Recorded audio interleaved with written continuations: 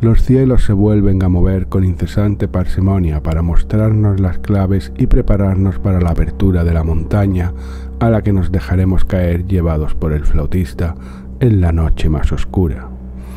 La diosa madre pasa de cabalgar la bestia quitándose la armadura de la guerrera Atenea para dejarse llevar por Lucifer y transformándose, calcinada, en la amorosa Perséfone. Su ser será puro sentir a su amante, que ya se apresuró para esperarla. A partir de aquí, Venus ya no nos protegerá porque caerá en los brazos del dios cornudo y tomará las seis semillas de granada.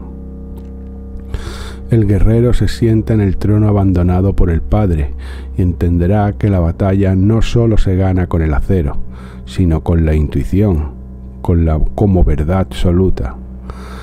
La realidad tras los párpados de Shiva Isis serán revelados al más bárbaro de los dioses y él tomará las decisiones apropiadas, instigado por la visión que proporciona estar entre el cielo y la tierra. Hécate se mojaba los pies en las aguas insondables a las que ahora decide sumergirse desnuda, llena y repleta, nadando hacia el horizonte tan rápido como puede, observando a un Lucifer que refulge más cuanto más cerca está su amada, y sus manos pueden acariciar firmes a esta Perséfone. Los monstruos del lago saldrán a la superficie con la madre luna, nadando en círculos a su alrededor. Ella los adiestra para que estén a su servicio. A lo lejos se vislumbran a los lados de Lucifer, Atir y Llama que conducirán el carro que lleve a los amantes a la cueva.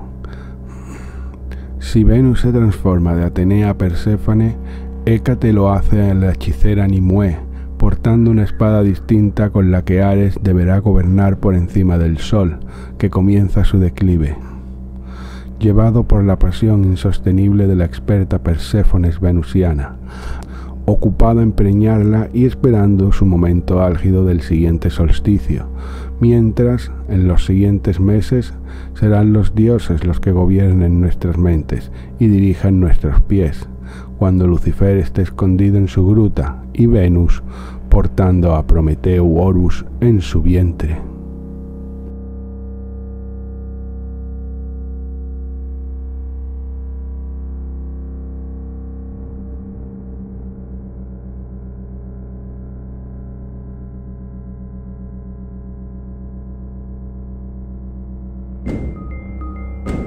Oh triple forma de oscuridad, esplendor de sombras, tú, luna invisible a los hombres, tú, cazadora pavorosa, tú, demonio coronado de los muertos sin corona, oh pecho de sangre demasiado amargos y demasiado tiernos, déjame ofrecer invisible suave arroyo, lleva el sepulcral brillo de tu santuario, mato a la bestia negra otorgo la flor sembrada en la oscuridad y recogida en la penumbra bajo la luna menguante.